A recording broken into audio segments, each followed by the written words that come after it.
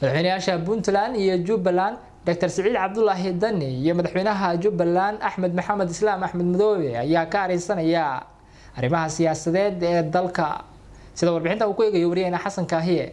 Warar hoose oo uu ka helayo telefishinka som news t v ila wareedyo ku dhowdhow madaxweynayaasha dowlad goboleedyada puntland siciid cabdilaahi dani iyo madaxweynaha jubbaland axmed maxamed islaam axmed madoobe ayaa waxa ay tilmaamayaan inay ka arinsanayaan geedi socodka siyaasadeed ee soomaaliya iyo hindisa sharciyeedyo dhowra oo ay meel mariyeen golayaasha dowladda federaalk soomaaliya taa oo aragti ahaan ay ka soo horjeedeen labada hogaamiye.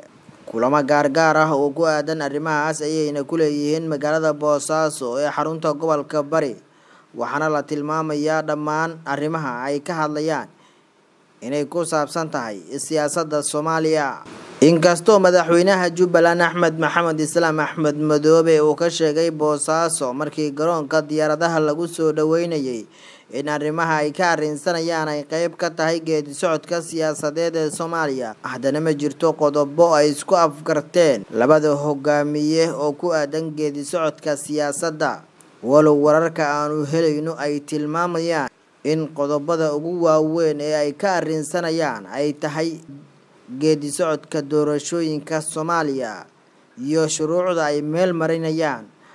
Labada gole ee dowladda federaalk soomaaliya taa oo ay sheegeen inaan laga talagelin maamul goboleedyada. Adeega cusub ee shirkadda dahabshiil iyo ii dahab casriyeynta hanaanka cusub ee xawilaadda dahabshee haddaba macmil adeegan cusub ee casrigaahi waxa uu kuu sahlayaa in adigoo jooga gurigaaga hoose goobtaada shaqo aad lacag ugu xawishid asxaabtaada iyo ehelkaaga jooga daafaha dunida